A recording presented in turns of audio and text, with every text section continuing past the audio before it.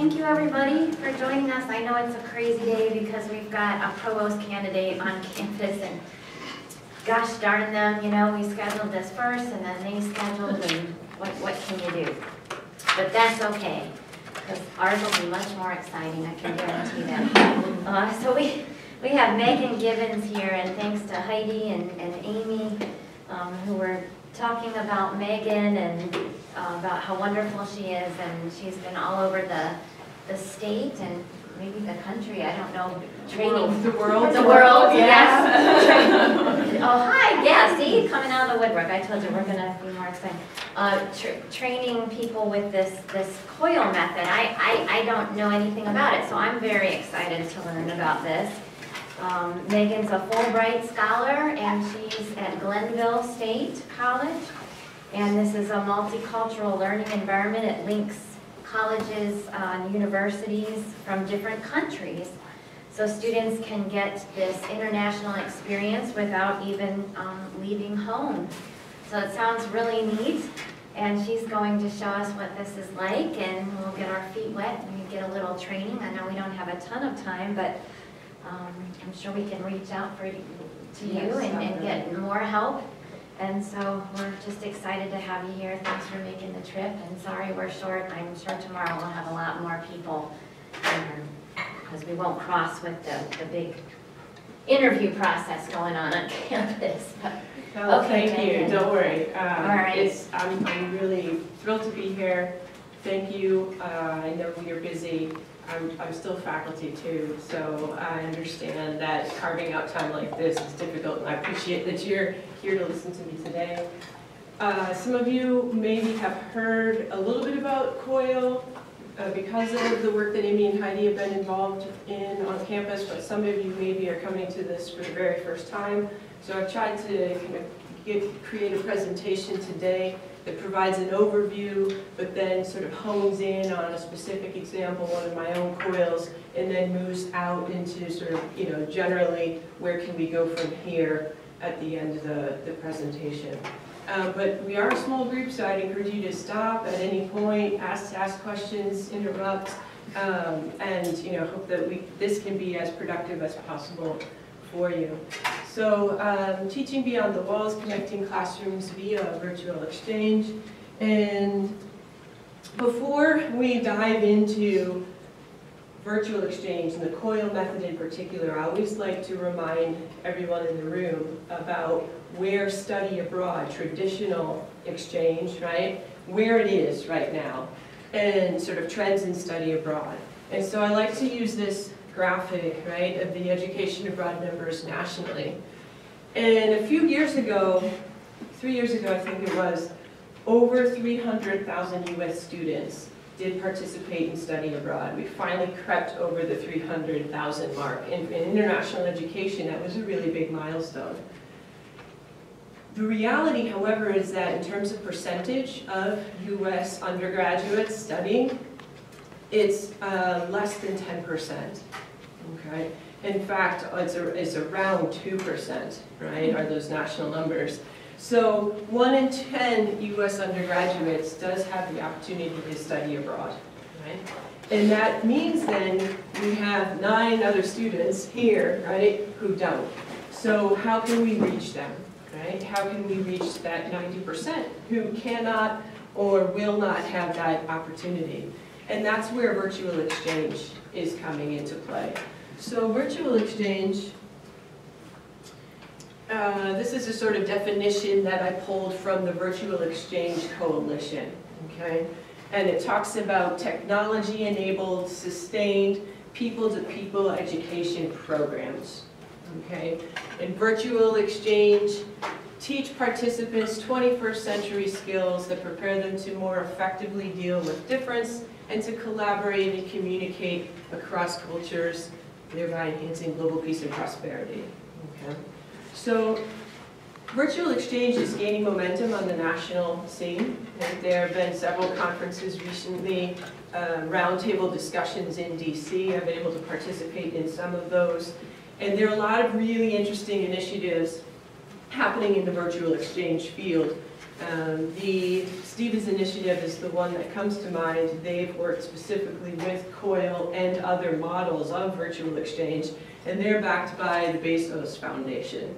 So there are, are companies who are really interested in putting their money, right, towards this endeavor. And, you know, the, the, the real question moving forward is how can we sort of leverage the work that's been done in this field to expand, right, scale up these efforts and reach more students. The organizations at, uh, that are sort of members of this virtual exchange coalition are Soliya, which maybe you've heard of. Oh, that got, it's iEARN USA, that got cut off there. And, um, and another group called Global, Global Nomads, right, the Global Nomads group. So Global Nomads and iEARN USA, here they are, they're all there a little bit slow, are working primarily in secondary. Soliya is working in secondary and higher ed, and COIL is, is located largely right now just in higher ed, okay? So there are different options out there, and I'm not suggesting that you have to use the COIL method as the only method, right, of virtual exchange. Um, but, uh, Soliya is different, okay, and we can talk about that after. If you're interested in, well, how is Soliya different from COIL, then just ask me at the end. If we have time, I'll, I'll tell you what some of those differences are. But for today's purpose, we are going to focus on COIL and what is that? Collaborative Online International Learning. Now, the acronym is problematic in some ways because of the use of online. And I think a lot of people look at this, hear this, and in this, well, it's an online class, and it isn't. This is not the same as an online class. You're using online technology to deliver right, this learning experience, but it isn't necessarily the same as an online class. So there's some there's some problems with the acronym, and um, and for that reason, you hear about globally networked teaching, globally networked classrooms, globally connected, right, classrooms. Um, and the, the COIL method has come to us largely from the state of New York. And I do mention um, New York and SUNY COIL because they have a really well-developed network.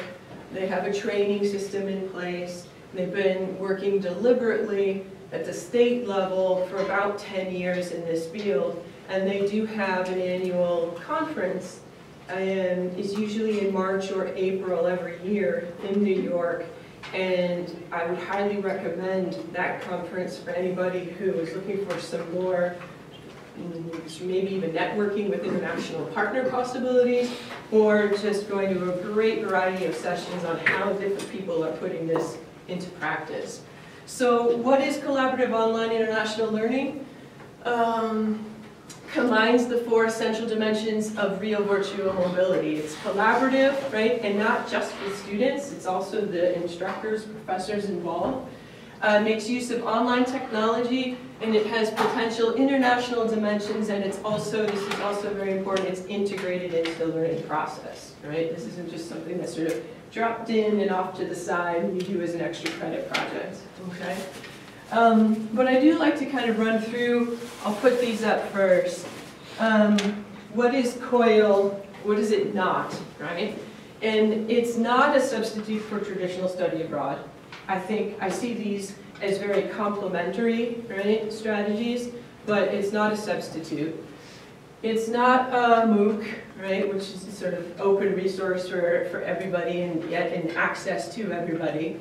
It's not a curriculum in and of itself. In Europe, the big trend was, uh, for maybe the last 20 years, this idea of teleconferencing. And that was an avenue that they were exploring in Europe for a long time, and still are. But it isn't just that.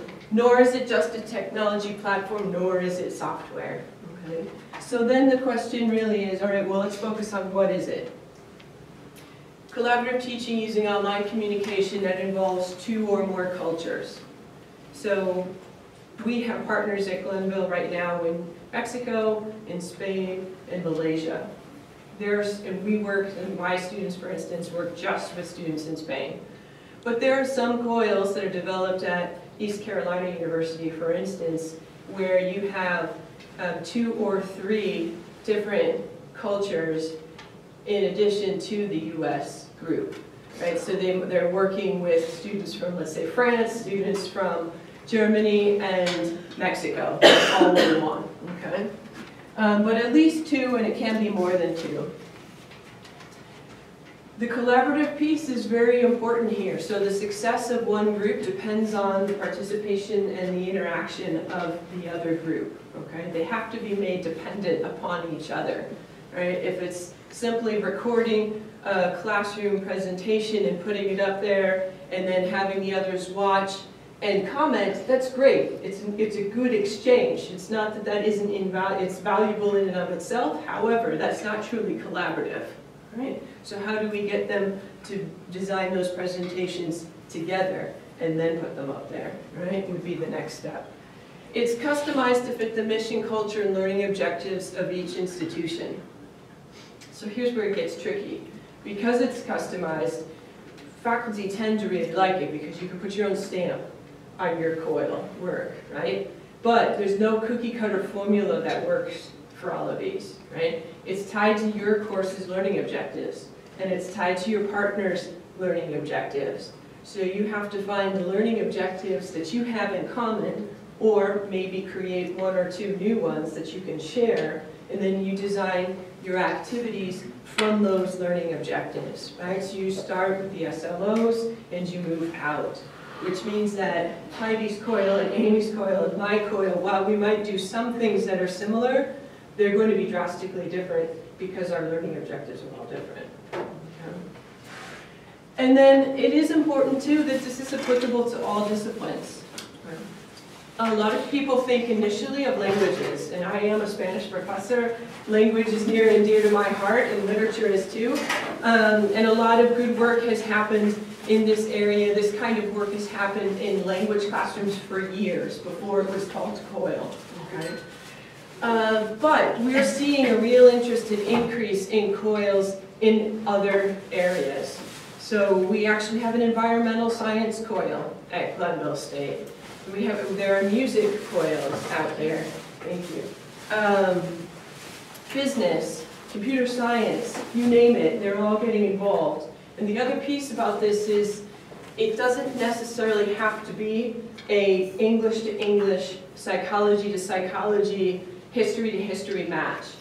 It actually discourage that and look for interdisciplinary uh, collaborations like psychology and business or uh, history and linguistics, right? And um, those are the ones that actually yield the most interesting results most of the time. Okay. So who's doing this? Obviously New York, obviously SUNY. That's their coilsuny.edu is their website, and I do recommend that you start there. It's a good resource. There's a lot of they have case studies. They have um, other resources available, a faculty guide for COIL course development. You can get on their list serve and get information about the conference and other things happening in their COIL world. But over on the other side of the country, uh, the University of Washington system has been establishing its own sort of hub in that region of the U.S. and uh, Bothell in particular and is doing a lot of work. So we've, we've got this sort of uh, Pacific Northwest hub that's emerged. And uh, the other, actually, I, I'm not going to, I'll just mention it. Um, there's a great article that's part of the Bothell webpage, uh, Classrooms Without Borders. One of their professors there who's Peruvian, um, and the coil that she's developed with students in Peru and, and her students at, at Bothell. So there's um, a nice piece there on what they're doing. But the other, the other hub that I see emerging is one closer to home, okay, um, with the HEPC. And the HEPC is really interested, has made uh, COIL a sort of pillar of its inter internationalization plan for the state. Uh, so we, we are seeing COILs develop here, obviously already at Glenville, West Liberty, and we'd like to see more of those member institutions, right, um, start to develop their own pilots. I personally have traveled to Ohio, Pennsylvania, some other parts of sort of Appalachia, and doing faculty outreach training with, uh, you know, faculty and staff at those institutions who are also interested in, in moving in this direction. So there's this new hub emerging in our area. So why should we be doing this? Probably here I'm not preaching to a choir, but in some rooms I am, okay? Um, I'll come back to this in a second, but our students don't have the intercultural skills they need to be successful when they graduate. And that's where I've been doing some research, some of the Fulbright research that I was working on, is looking at the de development of these intercultural skills in the, the virtual exchange work, and they don't have them, okay? So we need to help them develop those. The interdisciplinary nature of this, right, is also highly attractive because a lot of institutions are looking for ways to sort of break down silos, right, and, and have dialogues across campus. The internationalization of the curriculum. If your curriculum is in need of a slight overhaul, right, uh, if there are pockets where you don't have a lot of international work happening in a certain area on campus, this is a way to make that happen, right? And, and it can be very organic and not top driven, top down driven, right? It can be very grassroots because the faculty will be uh, championing that. It's also, this is me, my own bias, but it's really rewarding for me as a professional, for me as a scholar. It's given me the opportunities, we were sort of joking about before, to travel the world, to travel to Spain, to travel to Mexico, to travel to conferences here in the US, New York, Chicago, DC, elsewhere. And um, in, in develop, in some cases, right, really strong professional relationships that sometimes, you know, turn into friendships too, right? Um, so my network has grown.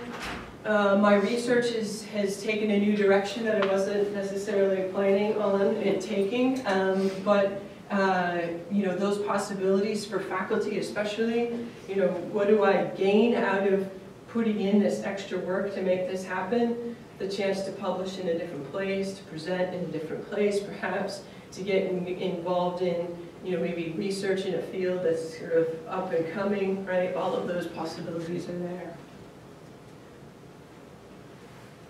So one of the tools, and I won't spend too much time on this, um, but one of the tools that I'm using to assess those intercultural skills is called the Intercultural Effectiveness Scale. So this is a research instrument. It does cost some money, uh, but HEPC has, has been helpful in supporting, right, um, the use of this tool to basically do needs, needs assessment. And it measures continuous learning, interpersonal engagement, and hardiness, right? So for continuous learning, essentially, what knowledge do I have of another culture and how interested am I in learning more, okay? Also, how accurate is that knowledge? That's another key piece there. Interpersonal engagement then, am I, am I willing to learn another language to have a better relationship with people? On a people-to-people -people level, where do I fit? Do I withhold judgment? Do I judge immediately when I encounter something different, right? And then the hardiness as I'm negotiating these interactions with a culture that is unfamiliar to me, how do I respond emotionally? Do I shut down when I make a cultural faux pas or a language mistake, right? Or, or am I able to sort of bounce back and keep going? So just trying to gauge how um, people function uh, emotionally in all of this. And these are the results from Glenville might imagine our students are, they're not quite your students, but they'll have a lot of similarities, a lot of first generation, low income students, um, rather homogenous student body as well. Um, and the, so the blue is Glenville and the orange is the, the group from Spain, so University of Oviedo in northern Spain. And this is the pre-test data for the last two years. And you can see, the low end of the intercultural scale, right, is this big giant blue block. So it's 55% of our students test at a one or two, and the top score is a seven.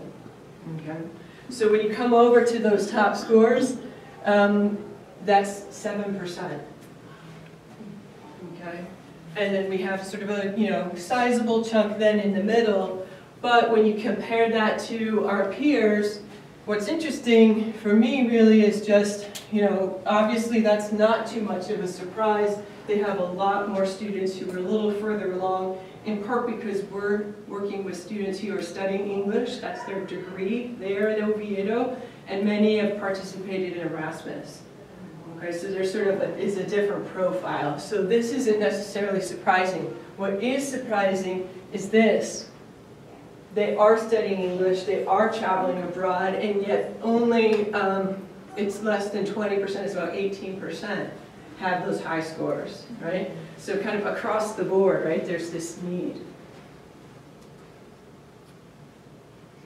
So what we'll do now is um, look at SLOs that I set up for my one of my COILs, and I'll sort of walk you through one of the COILs in terms of how does this really work, right? What is an SLO? Uh, student learning outcome or objective, okay? Um, so the one that I've been focusing on most, most, right, is this increasing of self-awareness by comparing and contrasting cultural beliefs, right? Um, the intercultural or interpersonal communication, right, is a is another coil that we've or SLO that we've established. So how might we assess some of these? Those are kind of really not um, very bright. I'm sorry about that. Um, there we go. It's just a little bit of a delay. Um, I know, yeah, right? so uh, classroom assessment techniques, the 321, um, guided reflections, close reading, internal questionnaire, external survey. In, in one case, it's translation in small groups, editing those translations, joint Skype sessions, small group video conferences, teaching presentations that are live, perhaps. So this is just a variety of activities that have kind of stemmed from, right, some of these learning objectives.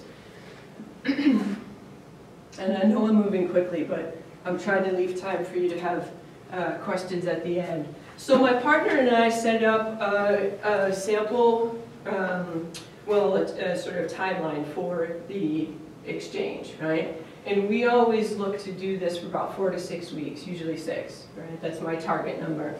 So, you know, about six weeks of the semester where we map it out and we say, okay, this is, you know, these are our weeks, these are the activities. This is what we expect you, how much time we expect you maybe to dedicate to those activities. These are the resources you need, Moodle, Zoom, laptop, email, whatever it may be. And then are you doing this inside or outside of class? And you'll notice a lot of it is actually outside of class, right? We have time zone differences, and that's a factor, but it doesn't have to be a factor if, you know, the activity for that week is get into the forum, read what's happening there, write your own post, right? Um, and participate in that online discussion when you can, and that doesn't need to take up your class time necessarily, okay? But I do during a COIL module, I do usually tend to set aside at least one class period for a synchronous session if there's a chance to do that. And I do tend to set aside 10 to 15 minutes of class time once a week to address anything that maybe is happening online in, the, in that coil space. Okay. Um, so you need to have a kind of structured approach that includes a chance for students to get to know one another and get comfortable with the technology. And then a chance for them to compare and contrast cultures, right, and sort of expand on their knowledge base. Uh, and then moving towards some kind of, a lot of times it's a project-based, right, kind of uh, activity or some sort of um, collaborative, right, work that is a cumulative outcome, right, in terms of the, the last two to three weeks of the COIL.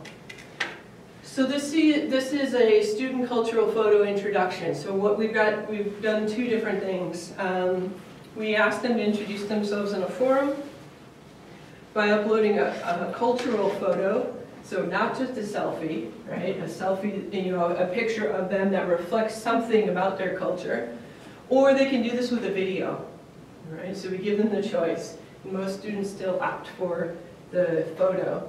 So this was actually one of our, my students in a, in a literature class, Introduction to Hispanic, Hispanic Literature, he wasn't from West Virginia as he, as he stays here, I'm from Florida, and he talked about the Gulf Coast and, um, and he sort of, you know, shared what life is like and culture is like in the Gulf Coast. And so for even his peers there in class in West Virginia, said, I didn't know that.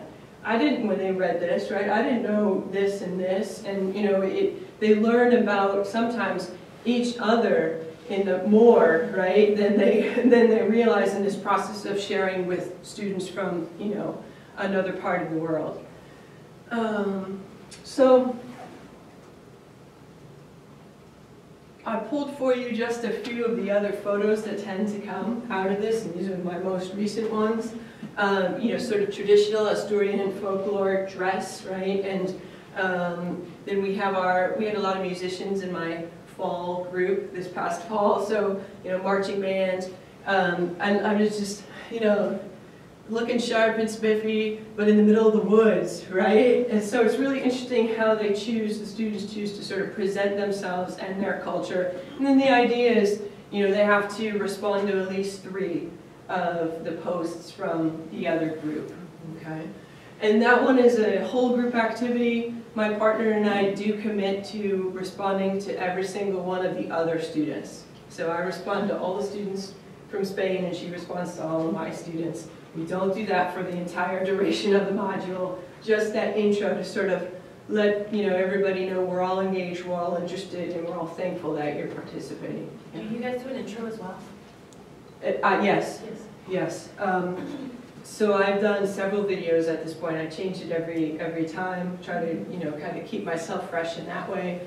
Um, and she's got two that she rotates between, right? So, but we do. I think that's important. I think it's helpful to have something up there initially that they can click on and see. Um, and some of what I've modeled in the videos, then they do sort of unconsciously in their own, and there's a much more engagement. Yeah. Um, so one in one in one semester we followed up the intro activity with a synchronous session because it worked out for scheduling purposes on university life. So we had prepared questions. At this point we moved them into smaller groups. We uh, have mixed groups. Each group got a set of questions and then we brought them together in Skype to exchange answers and dialogue about right those questions. And um, this was just a, the three, two, one, sort of the three takeaways, two burning, uh, or sorry, two action items and one burning question, right?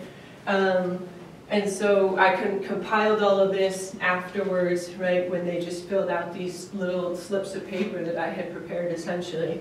Um, and so these were some of the things that they were surprised about or learned, right, in that, that conversation. Um, cost of books, right? That they don't pay for books in Europe, right? Um, and that our students are paying four, five, six hundred dollars depending on what they're taking. Um, the mascot, there's no mascot for the University of Oviedo, and yet, and you know, and there's the whole business of gun culture is very different too. So there's our mascot, the pioneer with the rifle, right? And and and it's you know, and that's shocking to them, and so they talk about that. Um, so. Um, the collaborative work that we do in this particular COIL is connected to uh, a translation activity.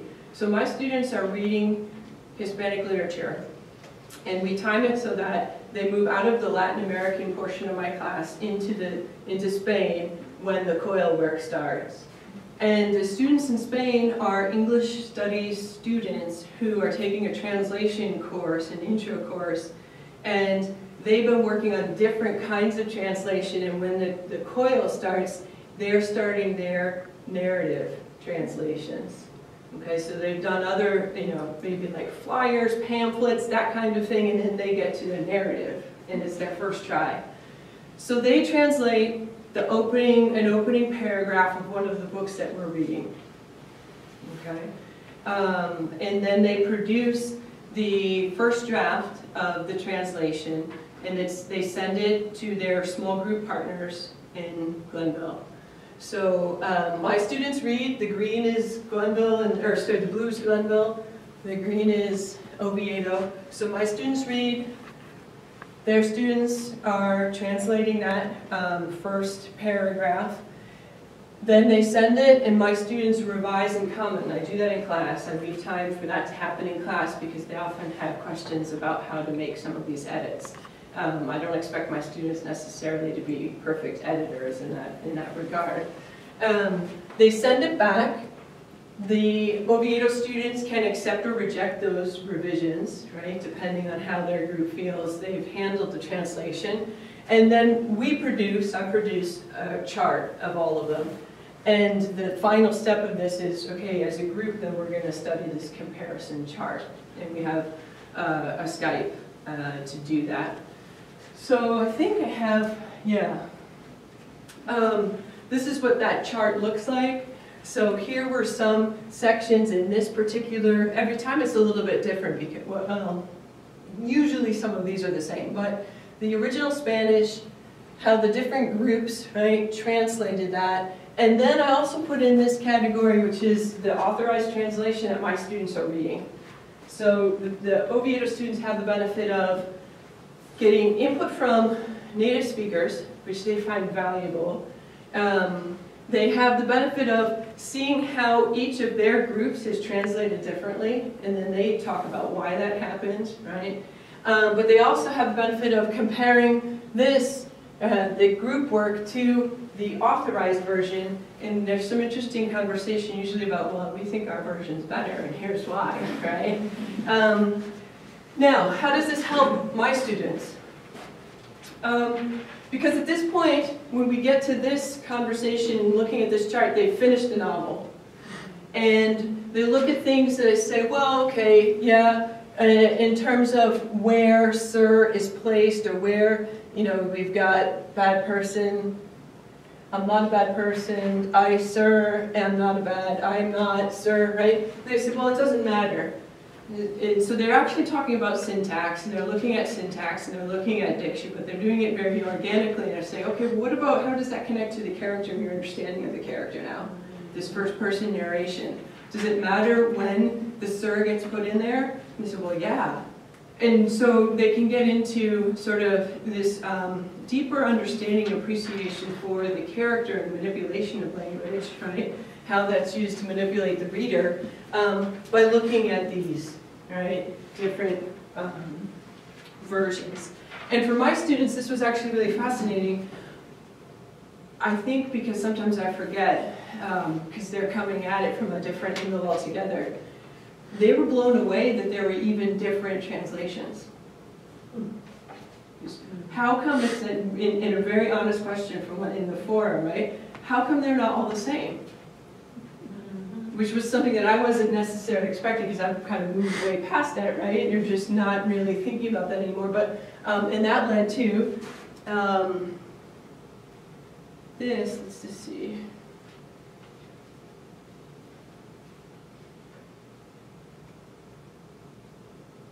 This Skype conversation, I'll just play a portion of it where they were talking about um, at this point, sort of the role of the translator, you know, is a translator respected, and just the different, and what knowledge does a translator need, uh, maybe in addition to just being bilingual. So can we, can we uh, let Caroline jump in for a second? Um, just like Michelle was uh, mentioning, that there needs, and as you were mentioning, there needs to be multiple translations. In our translation, um, assignment that when we worked together, that was my biggest concern is that the translation um, from Spanish to English wasn't going to uh, give the same inflection or meaning uh, to the, the original uh, Spanish language. Yeah. Uh, however, to interpret it in English, I felt like those changes were necessary. But I don't know if it was the right thing to do. Does that make sense? What do you say? or anybody? Does it make sense to you, doesn't it? what I understand is that uh, in order to make the translation understandable, you have to change the, the original version somehow in order to make it more easier to, to understand the translation. That, was that your point? Yes, I think everyone was quite surprised when they saw the translation chart at all the different variants. Because, Yeah. because we don't have a background in this class on translation. And I think we kind of maybe thought that, okay, there'll be one version that mm-hmm. appears. And so it's really fascinating for the group to discover, okay, every single group is slightly different and how does that work? Yeah. Right? Yeah.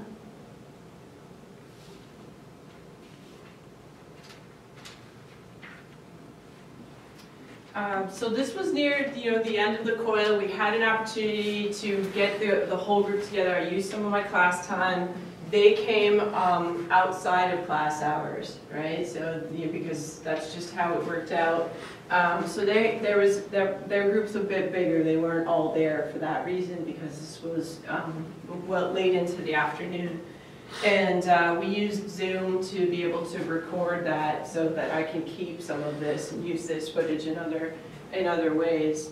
Um, and that was actually a 45 minute uh, conversation when all was said and done. And they had a chance in the beginning to sort of just say, wave at their group members. They hadn't right, done that um, sort of face to face yet. And, um, and we had prepared questions for them as we moved through the, the rest of the session. So it was a bit of socializing, a bit of academic work, and then actually my partner, because it was the end, she loves music, we have a lot of musicians, she's like, can we sing a song together? And I didn't get, bring that clip because it didn't come out really well in the recording, but, um, so they sang, right? They, you know, uh, simultaneously, and it sounds kind of funny, but, uh, it sort of provided a little bit of closure, right, for the whole, the whole unit. Um, So at about two different points along the way, I have, have students um, do some reflection, right? And um, these are post-coil student reflections. This is a, an Oviedo student, and this is a Glenville student. Um, I couldn't, I mean, this is like, this is so perfect and so on point that it's like, it, it seems like I paid her to, to write it this way, right? But that, that one is, is just really great. Um, and the Glenville student, though, is the one I want to sort of focus on for a minute because he said it actually caused me to focus more in the class. Right? Think about think about that. It caused me to focus more. Um, I'm not much of a reader, and actually, but I actually enjoyed reading this text as well as other texts. Okay. Uh, and this is this is taken not from one of my students, from a history student um, in a different coil. Um, but you know, he's saying I focused more, I read more, I was more engaged as a student because we were doing this. Okay? And I think I have a better understanding of the, the Spanish immigrant experience um, because of this, right? And so outcomes, moving kind of out from the sort of individual coil model and thinking about where does this have a place in our institutions. Um, we, for the first time this fall, were able to include our own students, current students, and in this case, this is a, Anahuac in Mexico. We have a relationship with them institutionally, right? So Anahuac uh, instructor, student, Glenville faculty, Glenville student who were, you know, remotely presenting at a conference in Chicago. Okay, the Global Learning Conference. Um, and those, those are my colleagues, um, Art De Matteo and Melody Wise. They've been sort of with me working on COIL pretty much from the get-go, and they're the most experienced faculty members in COIL at Glenville. Um, so, you know, I've had the opportunity to present several times at SUNY COIL, now at Global Learning Conference. It was great to have my colleagues with me at this conference. And then, just for me personally, to see our students involved was, was another big, huge step forward for the program. What are some observations that I've made along the way? Um, I've there's a lot, but I, I focused on a few here. Um, growth, right, in self-awareness. involves discovering several things, okay? Um, so again, we were looking at how are they becoming more self-aware through this work, right? Um, and it could be because if you go back, you think back to the pre-test, right? Well, what's the post-test? If you're, if you're all kind of already thinking, what are the post-test results? They're mixed. Um, 50% are moving along that scale and 50% aren't, right? So it's not perfect yet. Um, but within the, the 50% that are moving, it's also kind of mixed. Some are moving up and some are moving down. And you think, well, is that, that indicates regression, okay?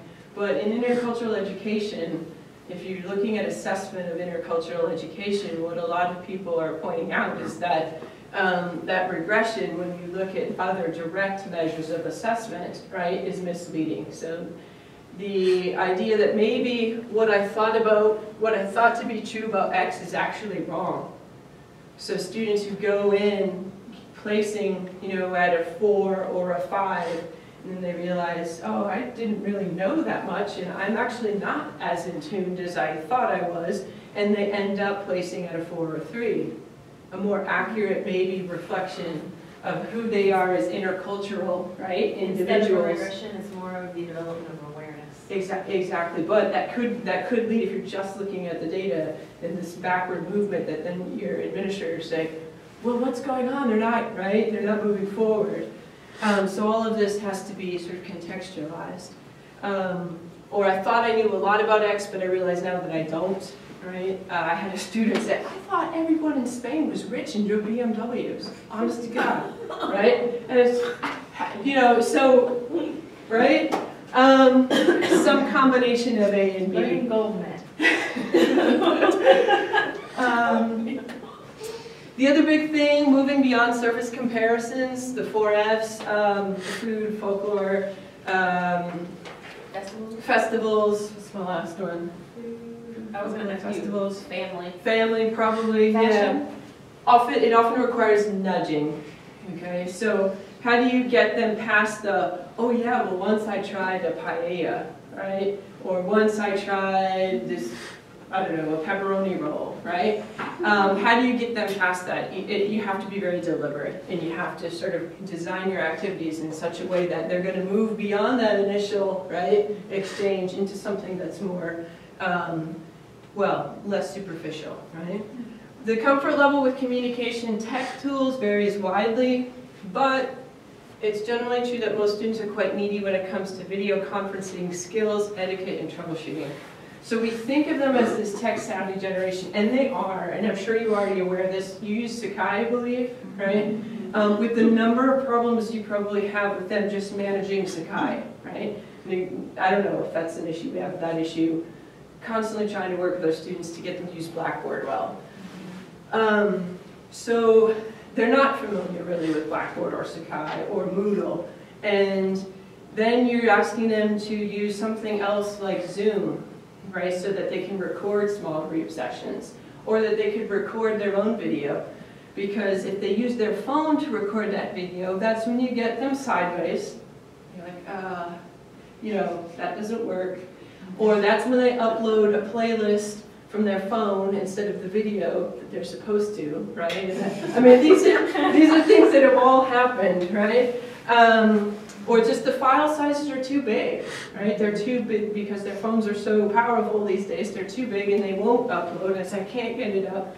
Um, so they need some help with, and that's why there's that time built in at the beginning to sort of get used to whatever platform that you may be using, whatever learning management system, and if you can, build some time in to train them. I actually ask them to come in, bring their laptops, we do a fake Zoom, we actually set it up, they do it with each other real quick so they know how to do it with their partners, right? Does it take away some of my class time? Yes, but it saves me hours of email and, and sort of running interference later. The other part of this, the video conferencing skills, they get nervous. They get really nervous. And I've had students sit live in a session and say, can I ask them uh, if they like this kind of, and I they're listening. And yes, why don't you ask them? Right? or the guys, sometimes if the guys, you know, they move closer to the camera, right? sometimes we have to move them from where they are to get closer to the camera. And this one kid, I, he must have just been nervous. He like saunters up, rolls his sleeve up, and just kind of like has his tattoo facing the camera, and this really sort of aggressive stance. And I'm, I was actually in Spain as this was happening, right? So I'm watching this, you know, West Virginia, right, classroom, and my, and the student, I'm looking at the students in Spain, and they're all looking at each other like, who is this kid? What is happening, right? So some prep work may be needed before they launch into these, right, live sessions too. Um, the COIL work makes classwork feel more practical, more relevant, and therefore more meaningful. Okay, I do hear that a lot on both sides, not just the US students, but when I was in Spain, interviewing the students in Spain, you know, especially those translation students, they say, it became real, right? You know, I had, I, I had to produce a text for a native speaker who was, you know, and, and, and the input that I got, the things that I didn't think about beforehand, right? Um, made the experience truly authentic in a way that otherwise, right, it might not have been. so, this is the, the book, there is a book, um, there's a developing field of sort of research, right, um, on globally networked teaching, COIL, virtual exchange. Uh, but this came out in 2015, Globally Networked Teaching in the Humanities. And the first two chapters provide an overview of the, mod, of the, the model itself, what COIL is, how to implement it, and then the rest of the chapters are case studies. So just, you know, what happened in this COIL between these two institutions? How do they make it work? What obstacles do they encounter? How do they problem solve, right? Um, so that's a good resource uh, to start with. And in terms of where does this look right now, what's the landscape in, in the state? Um, we have, we started in 2015 with two pilots at Glenville. We have uh, six or seven that run now at Glenville. We've got uh, one pilot that started in fall at West Lib, another in the works at West Liberty for this semester. We've got several people here on Shepherd engaged in COIL work and, and, and I think some pilots in the work for this semester too. So kind of look across the state, um, there are 12 COIL collaborations, hopefully, right, that all come to fruition for just this academic year at three now institutions instead of just one, right? Um, so it's a slow moving machine and it's not a perfect machine by any means. It depends a lot initially on just faculty initiative, right? And you know, you're not going to get paid extra for this. My, my faculty don't. Um, this, the, this faculty in Spain and Mexico don't, right? Um, but you know, I, I do keep, to the extent that HEPC is involved, um, requesting funds, and, and HEPC has been supportive, so they have put money towards uh, conferences. So my colleagues who went to the Global Learning Conference, that was paid for by HEPC. Um, a couple of years ago, a, a group of four or five of us um, from different institutions also went to New York to the SUNY conference, and that was covered by HEPC. So there are some, there, there's that incentive, right, still that can maybe be worked in here. Um, but uh, for our students especially who, as you know, I think, maybe it's a little different here, I don't know. Uh, we have a lot who just never even got as far as Morgantown. Um, who've never left the state, who don't have a passport, have never been on a plane, right? Um, and so study abroad isn't necessarily for everybody. And this is a way, and actually what we're seeing happening now, people who are coiling are losing some of that inhibition, are interested now in other international opportunities. So we had a coiler who went to University of Oviedo and finished her career with study abroad there. We have a coiler, uh, one she coiled with Mexico. She's going to Panama this summer to do research for her biology uh, professor. So we're seeing actually some of our COIL participants actually take another step with to the sort of traditional mobility, right? Um, and so for us, that's huge. Our study abroad numbers are less than one percent at Glenville. I don't know what yours are here. Um, you know, we're talking about maybe six to eight students a year max, right? So any, so any, any kind of influx that COIL can provide there is a benefit uh, for that program too. Um, Questions, comments? Um, I've got my, I've got cards, I've got cards with me, I also, you know, my email is there, but, um, you know, it's kind of all over the place, the sort of broad, right, general picture, some more specific details. Um, But what can I, can I clarify anything?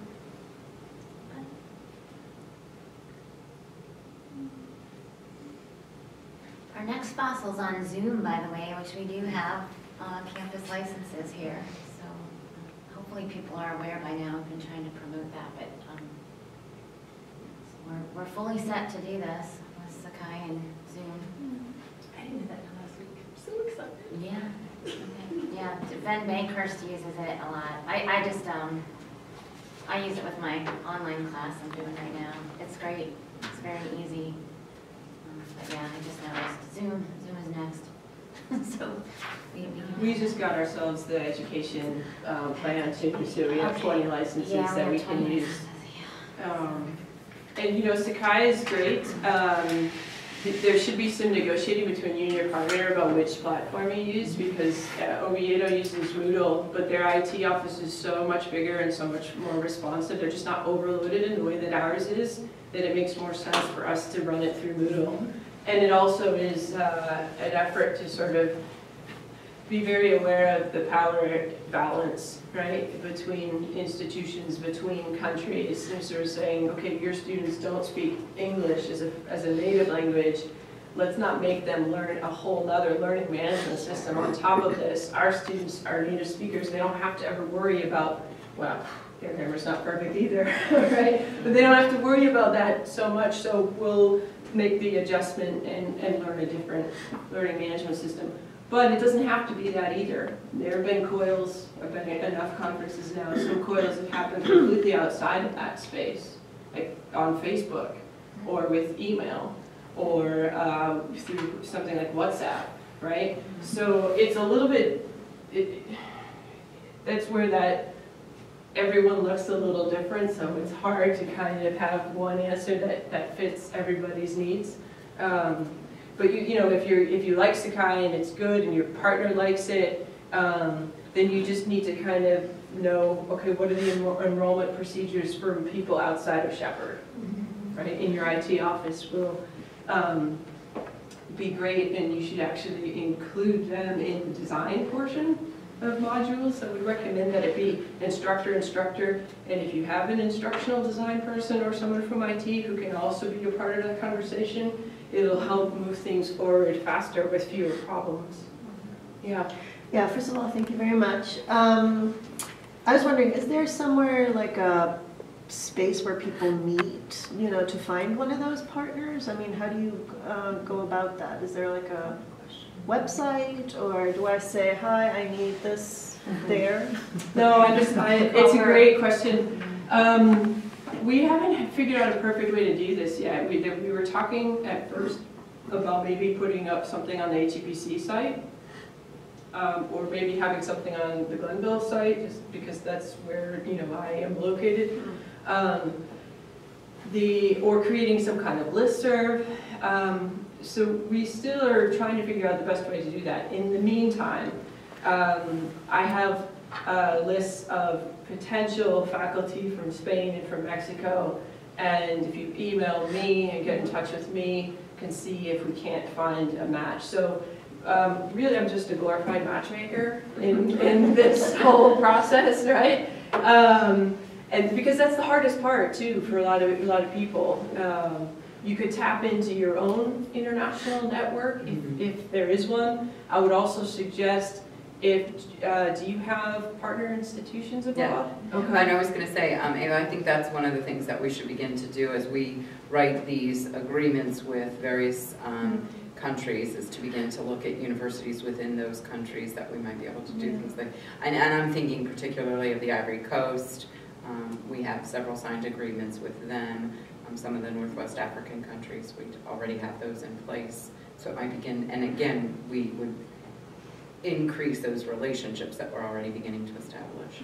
So Malaysia's a really strange connection for us in some ways, and that came out of, uh, you know, her environmental science, forest, um, forestry professor has a connection to the university there in Malaysia and, and a colleague there, and so they discussed, you know, could we try this coil? He learned about coil from me, he bro- he broached that with her, they tried a coil, they've since run two, um, and now that's leading actually to conversations about other ways to collaborate with that university, right? Uh, but that came, you know, right through faculty members' own, own network. So I hear you and we're trying, I, I, I'm trying to figure out the best way to put us all in touch. Um, but certainly starting on campus with your own network is a place to at least get started too. Um, Yes? Um, you mentioned this, this is, um, really geared towards students and student learning. However, could you see this leading to non-degree aspects? I, I, I run a lifelong learning program here, and can you see that this could potentially come to fruition for other lifelong learning programs internationally? I think so. I think it's got a lot of potential um, outside of the sort of traditional classroom. You know, it could be, uh, if there's service learning, if you have service learning projects, right? Um, How could you add an international component to those?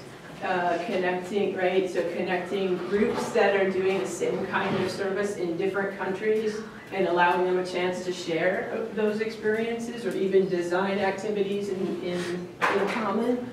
Um, I, I think there are opportunities for this to be used for pre and post study abroad, right? Um, in terms of orientation, the standard orientation, right? The re-entry oriented, right? Um, how could COIL be leveraged and, work in conjunction with those programs? And where I'd really like to do more work, I don't have the time, is I'd like to see this extended to secondary you know, teacher education is a huge part of Glenville. That's who we are, as sort of the backbone of our institution. And I'd love to have education, right? I'm trying to get more education classes involved in COIL so that at least they have some awareness and when they are placed in their schools or when they're um, actually teaching down the road, they might think about how they could use this method at the secondary level too. We're working with Berkeley County on the iEARN um, through the teacher training. Okay. Yeah.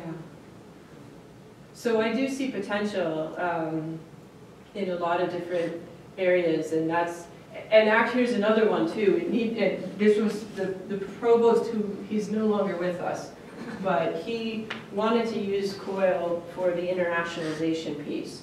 But he immediately latched on to, this should be domestic. This should be our rural kids, engaging with urban students, right, around the US. And so at the last conference I was at, there was more discussion of how this could help just um, bridge some of the divide, right, internally in this, in this country, right, with groups that don't typically interact, right? It, it need not be, right, outside of the US to still be uh, impactful. Yeah.